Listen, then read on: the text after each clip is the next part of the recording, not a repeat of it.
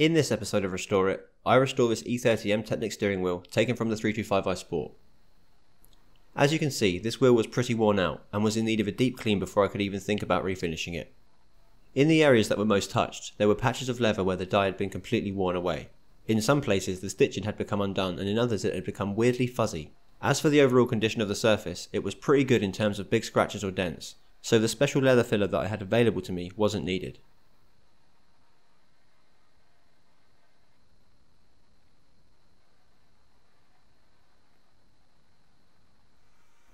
As always, the first thing I did was dismantle it completely.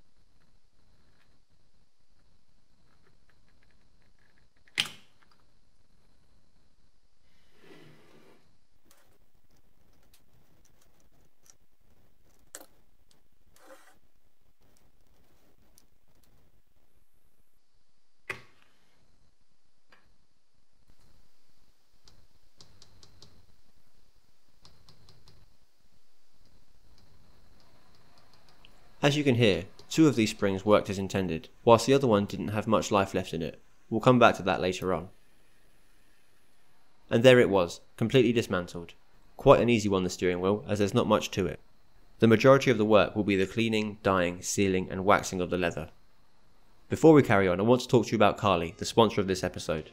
With the Carly app, you can gain access to the hidden world inside your car that you weren't able to unlock until now. The modern vehicle, regardless of cost, contains up to 80 complex electronic control units with between 5 and 20 million lines of code. The Carly app empowers you by not only providing access to the data, but interpreting it and making it easy to understand and operate, all directly through your smartphone whenever you need it. With the health scan feature, Carly allows you to see the all over health of your vehicle and detect any hidden errors before they turn into costly damages. You'll also save money by being able to read and clear your own fault codes. You can also customize your car through coding hidden features that are already there and make your old car feel like a newer one. For example, adding a digital speedo, or turning BMW's iDrive into an entertainment system, or even updating it from the E to the F system. Here you can see me removing the annoying seatbelt warnings and changing the dash lights to always stay on, just because I think they look so nice. Another handy feature is the ability to check a second-hand car before you buy it for mileage manipulation and driver's behaviour, which will help you make a more informed decision and prevent you from getting done up like a kipper. Carly has designed a new adapter that works with all car brands to empower as many car owners as possible, the available features and pricing vary from car manufacturers and models. The OBD functions work with every brand, whilst the coding possibilities work with BMW, Mini, Volkswagen, Audi, Skoda, Seat, Toyota and Lexus. A lot of the health related features work with the free version of the app. You just need the Carly adapter, and if you click the link in the video description and use code RESTORE at checkout, you'll get 20% off that adapter.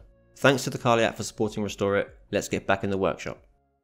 So to clean the steering wheel before the dye is applied, I'll use this leather cleaner from Colourlock, along with a brush, microfiber towels and some warm water. With this sanding sponge, I'll remove any slight imperfections in the leather and also remove any old flaking dye that could easily come off even after I've applied the new coats. Once the wheel is smooth and clean, I'll use Colourlock's Leather Fresh black dye and a sponge to refinish the wheel and bring it back to life with two coats and a careful sanding in between those coats. I'll then use this sealer from Lamo to keep everything locked in and protected.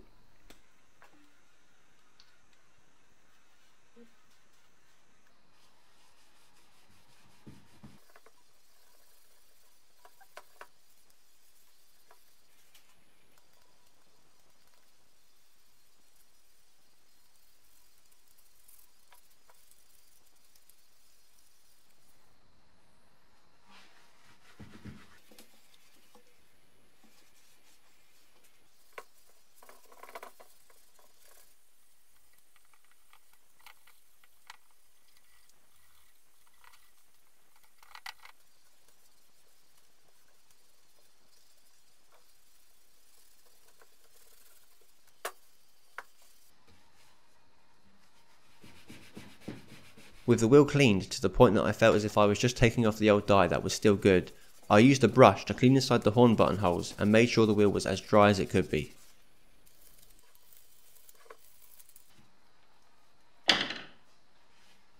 Even though it was very clean, it still looked bad with the patchy dye pretty much running around the entire thing.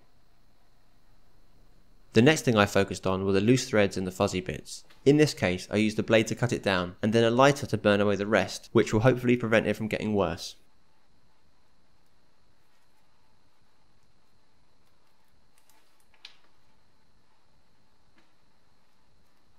I did this for the rest of the loose threads that were too small to cut, and also the fuzzy sections.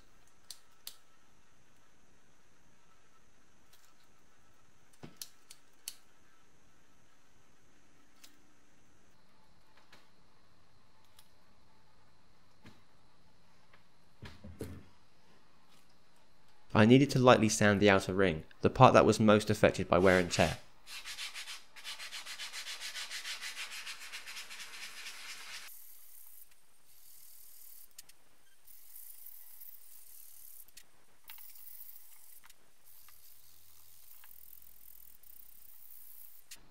The worst affected area was where the completely worn out meets the not so worn out parts, so this was the area I spent most time perfecting.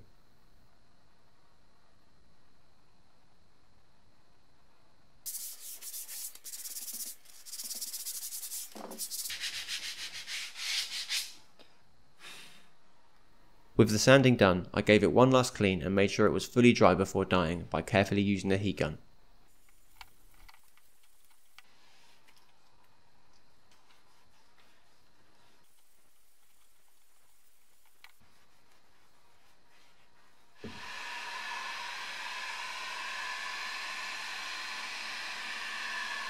I then gave it one final clean with quartz silicone remover to remove any oils or tiny specks of dirt and began applying the first coat of dye.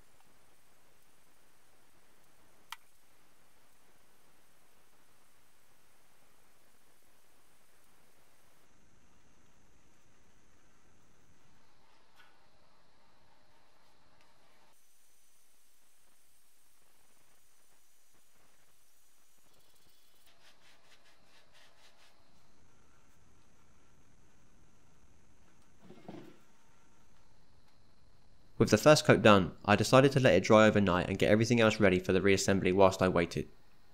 Firstly I gave everything a clean.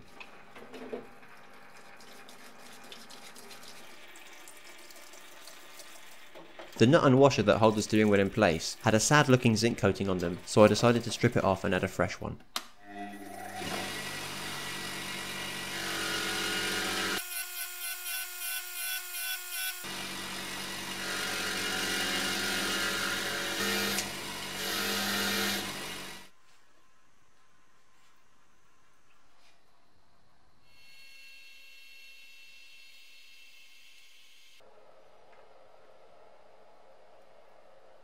With that doing its thing, I then lightly sanded the first coat which was now dry, in preparation for the second.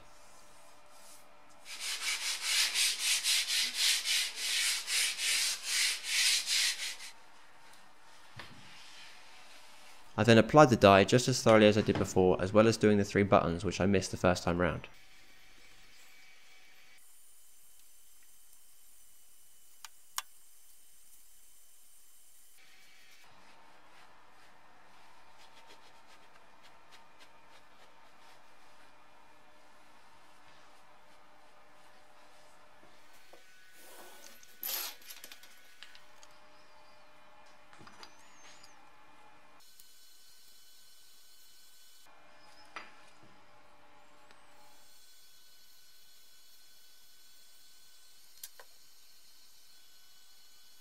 I left that to dry for 12 hours before doing anything else. Whilst I waited, I polished the badge and fixed the not so springy spring.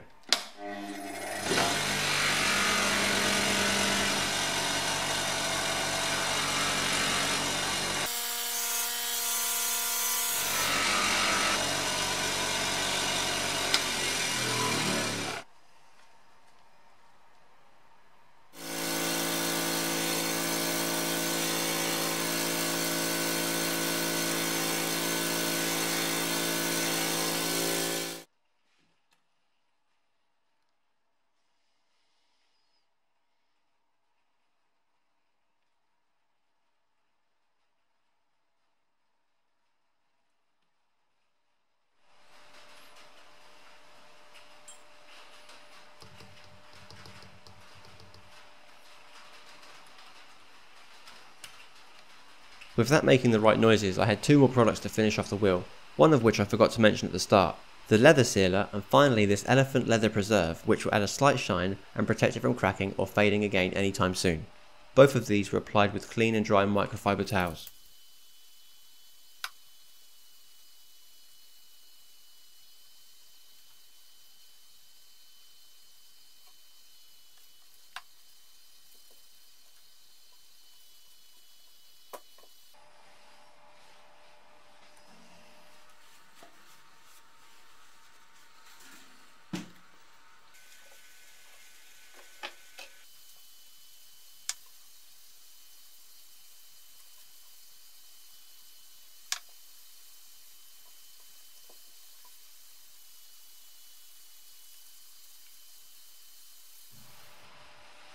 And that's everything finished and ready to be reassembled.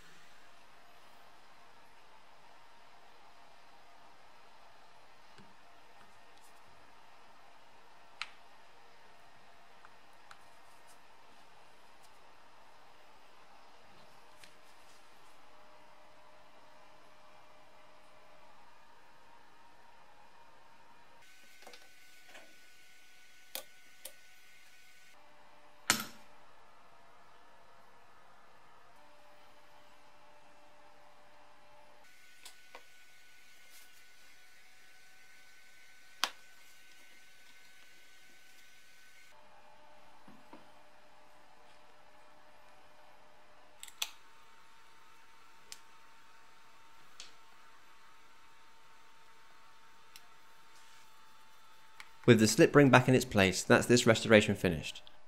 I'm pretty happy with how this one turned out, I just wish this was the smaller 375mm version, something I'm on the hunt for, so if anyone's got one for sale, or knows of one, please do let me know down in the comments. I hope you enjoyed watching this as much as I did making it, thanks for watching and I'll see you in the next one.